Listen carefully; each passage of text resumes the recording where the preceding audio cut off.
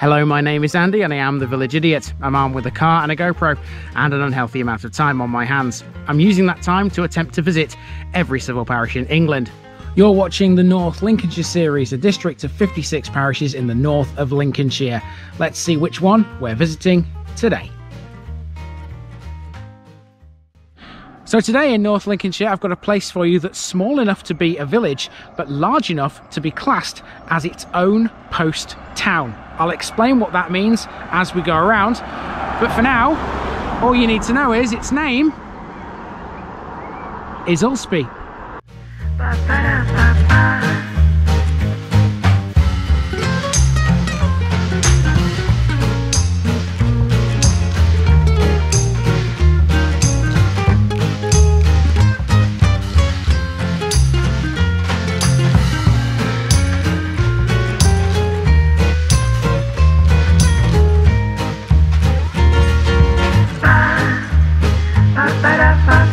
This North Lincolnshire episode is sponsored by Past Days, a family history blog by June Terrington. You'll find her link in the description. Here's my disclaimer for people who may be watching me for the first time. I say things as I would in my native accent and dialect. As a result, I may not pronounce things in the same way as the locals do. Remember, I'm a visitor. It's impossible to know everything. Leave me a comment, spin me a like, and bash that subscribe button. Let's get to today's parish video. Ulceby is a rural village situated 10 miles northwest of Grimsby and 14 miles east of Scunthorpe. It's surrounded by the nearby villages of Habrough, Wootton, and Croxton. It's sometimes referred to as Ulceby by Barton, so as not to confuse it with another village with the same name, also in Lincolnshire, which can be found in East Lindsey. The name Ulceby is from Old Scandinavian and it means the farmstead of a man called Ulfa. If that sounds familiar to the seasoned viewer, it's also how Ulleskelf in Selby got its name. It appears in the 1086 Domesday Book as Ulversby. Whatever you want to call it, this place can be accessed by both bus and train. The bus services you'll need out here are the 250 and the 455. This episode was filmed just after the Queen's Platinum Jubilee, so some of the bunting and associated celebratory items were still visible in places like this excellent yarn bombing. Ulceby is the largest village in what is largely a rural slice of North Lincolnshire, and that means it has quite a unique status when it comes to its postcode. Here's some more basic information first.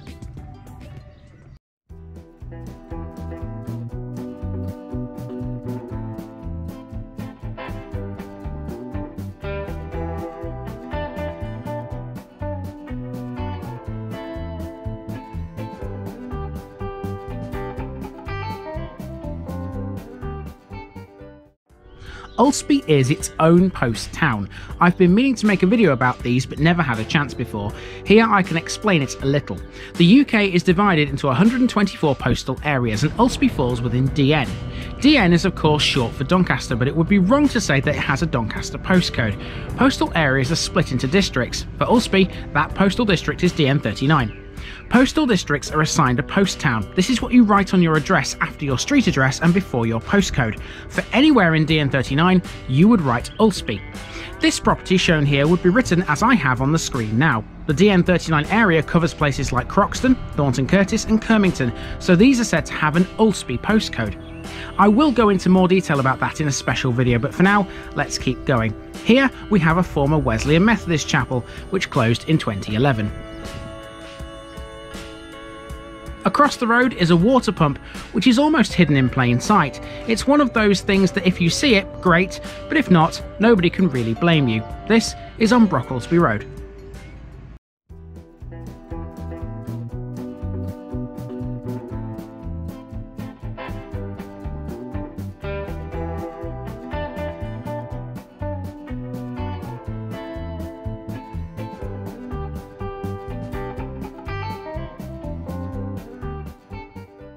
So if like me, you just walk down Coronation Road, you come to this junction here.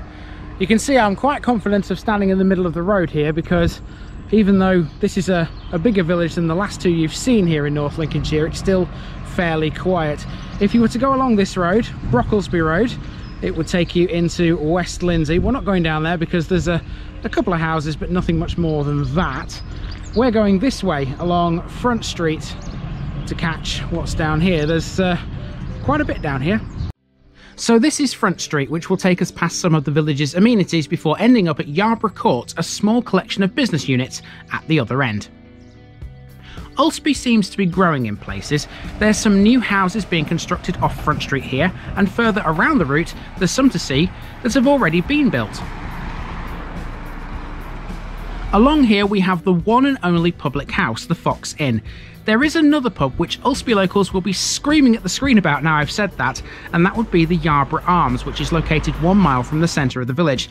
I'll explain why that's not an Ulceby pub later. For many centuries, the Hastings family were seated in Ulceby, and they were the lords of the manor and principal landowners. By 1872, the Earl of Yarborough had taken over. By 1913, things hadn't changed much, and the connection to the Earl of Yarborough is upheld thanks to Yarborough Court. Here, you're looking at Layla Boutique and hair razors, but there's plenty more about this collection of business units. So there's more than just hair razors and Layla Boutique here as well in Yarborough Court. There's seven businesses. We've got hair razors, Global Tourism Solutions, Leap Ahead Nursery, that's two units, so it's actually only six businesses then. Swanbeck Veterinary Centre, tea at six tea rooms and the ivory gown this is the kind of place that I kind of wish Nikki was with me with for because the tea rooms would certainly be right up her street. Next we carry on through Hallcroft because we're able to walk down a public footpath towards the school and the church next. At the end of Hallcroft there's a link between it and School Mews. This is the new area of housing I was referring to back on Front Street. Google Street View still shows this area as being barren waste ground, but it's anything but that these days. I imagine these will have bumped up the average house price. Around the corner we find the school to which the street name refers. This is St Nicholas CFE Primary School and Ulceby also has a preschool. Almost directly opposite the school is the Anglican parish church, dedicated to St Nicholas. Parts of the building date back to the 13th century, and this is another one with a very tall spire. Just to the south of the main door, there's a medieval cross shaft. This is approximately 1.4 metres high overall, and there's a sundial on top with the inscription Rich Folding. So this is the third church I've seen so far this morning in this little run. I was hoping this one was open, but it's not even the outside door's locked which is uh, something you don't see very often normally the the outside door is open and the inside door is locked but for some reason here both of them are so uh, yeah I can't get into this one but what an awesome church this is and how about that for another tall spire Restorations to the church were recorded in 1852, 1879 and 1887. In Ulceby Skitter, a hamlet to the east, a mission church was built to this in the late 1800s. Again, there's a modest churchyard. There's a war grave in here, that of Private Benjamin Heseltine Few of the North Staffordshire Regiment. From the churchyard, there's a footpath which connects us to the main road again, so I duly obliged. Thankfully, this one's nowhere near as hard to walk on as that one in Melton Ross was. The main road through Ulceby is one we've met previously in various places in North Lincolnshire. This is the A1077 and Ulceby is its last stop before it hits the A160 at South Killingholme. And there's a nice message reminding anyone coming from the west to drive carefully through the village, which is something that should really go without saying. Now I'm no expert, but they look very earthwork-like to me. Do they to you? In this field? I was absolutely spot on with my assertion here. These are the remains of a medieval moat in a meadow at the western end of the village. The undulations gave it away. This, though, I had to dig a bit deeper for. This is marked on the map as the Feather Workshop. As far as I can tell, it is, or maybe was now looking at it, a furniture shop. Opposite this is Ulceby's Co-op store, which doubles as the village post office. This is on the site of the Brocklesby Ox, a former village pub. It's sited on the corner of Church Lane, which I nipped back onto again at this point because I'd spotted a parish notice board and I hadn't yet passed one. There's a larger one at the village hall. The vicarage is located down here too. I found a gorgeous old picture of it from an undated postcard, and that'll come your way later in the picture bit.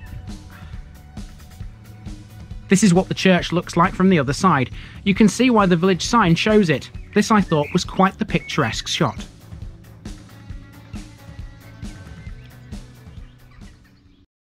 So opposite the co-op here, there's a bench which I've just taken a seat on for a few moments.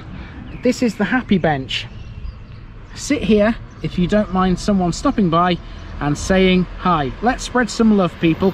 Nobody needs to feel lonely. That's nice, isn't it? This is the kind of thing that you tend to find in school playgrounds. But uh, it's nice to see one in public the village has a couple of food outlets. You're looking at the local Chinese takeaway here. There's also an Indian restaurant a little further along the high street. Next we have Ulceby's former Primitive Methodist Chapel, which was built in 1889. Rather unusually, Ulceby also has a Seventh-day Adventist church as well, built in 1888. See the picture bit as well for that. Here's the Village War Memorial. The largest slice of wartime history this place has is a Lancaster bomber crash, which happened over the village in 1943. There's a plaque here to commemorate that.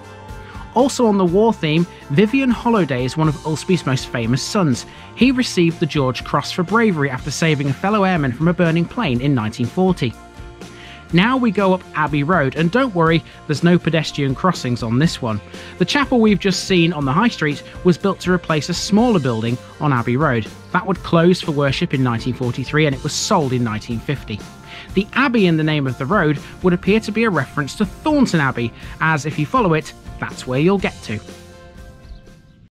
Now originally my route wasn't going to come up Abbey Road, but I changed my mind because I thought that gate there looked like an access path onto the playing field which is round the back of the village hall. It's not because it's locked. However I did hear somebody talking about a pond up here earlier. So if there's a pond you would have thought there would be some kind of access path to that and then down onto the playing field because it's literally just behind it. I had a look on the map to see where it was. Let's see if we can spot it. If not I've got to walk back down Abbey Road and walk along the main road again. I walked as far as Priory Crescent to see if there was an access point to the playing field from here, but my luck wasn't in. Still, you got to see some more of the village. Of course, with this not being far from Humberside Airport once again, the helicopters were up. I was told the main one that flies overhead here is the local Coast Guard, as the sea isn't that far away. After walking back, we're now on the playing field behind the village hall. The field has recently had extensive improvements to drain and level it, and football is now played on it regularly. The pond to which I was referring is here at the back of the playing field. It would appear you can only access this from this side, so walking back seemed the right thing to do. Alongside the village hall, which by the way is managed by the Ulceby Village Association, a registered charity, is this pretty cool looking playground. The building itself has undergone refurbishment. The work was funded by a grant from the National Lottery. A recent extension has provided changing rooms for the sports teams to use. That was supposed to be where the main walk stopped, but I couldn't help notice this property on the high street. Was this formerly a pub? It looked way too big to be a house. Right, the rest of the route is just a straight walk back to where the car's parked and it looks all residential or mostly residential. So that's a perfect time to give you today's picture bit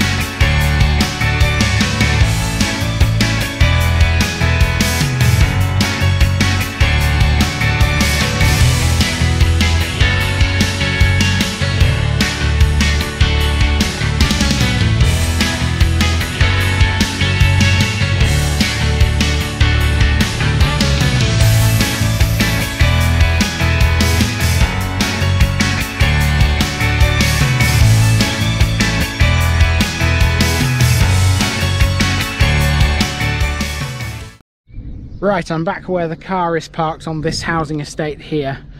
You haven't seen this area yet. There we go.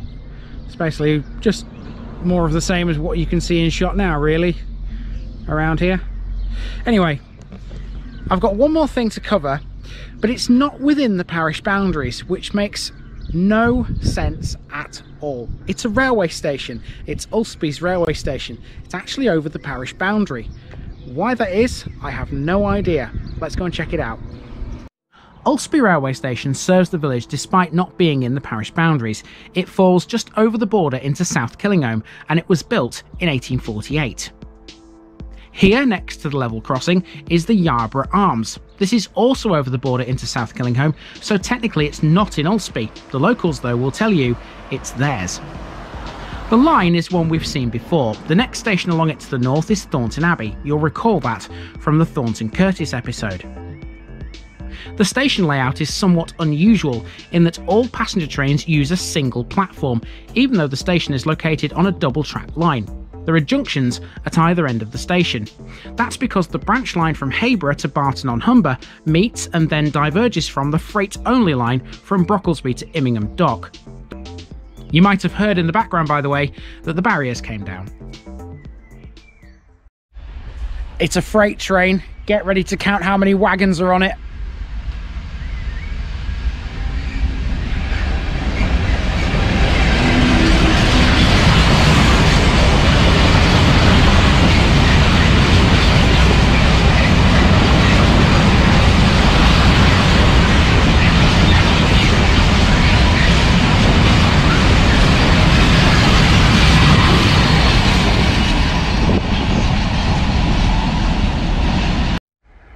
The barriers stayed down and a second train which looked almost identical to the first came past from the other direction.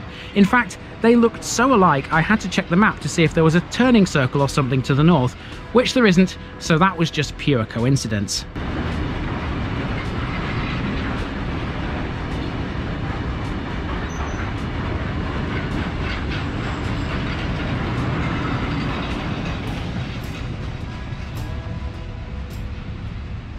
So whilst the station is not within Ulceby Parish, this area is.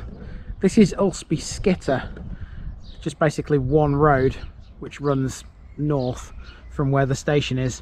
This is within the boundaries, but the station, which is literally just behind that hedge, is not. The boundary is somewhere there. I think the boundary is actually marked by a little um, watercourse a beck of some description. I can't remember what the name of it is offhand. Anyway this uh, this area is where i found an actual parish notice board. We have the church notice board earlier but here there is an actual parish notice board which means i can put one of these on it. There you go. Done. Ulceby officially done and we're well over halfway now here in North Lincolnshire. It doesn't seem five minutes since I started this district and we're getting towards the end of it, which is scary, quite frankly. But uh, yeah, I suppose when you know it as well as I do, you can just plough through it. You know where to go and you know what to look for. It's the way it is. Time for me to move on to my next one, which is much smaller than this, begins with a W. That'll give you a clue. I've been Andy, also known as the Village Idiot. This has been the Parish of Ulceby, and I'm out. Thank you.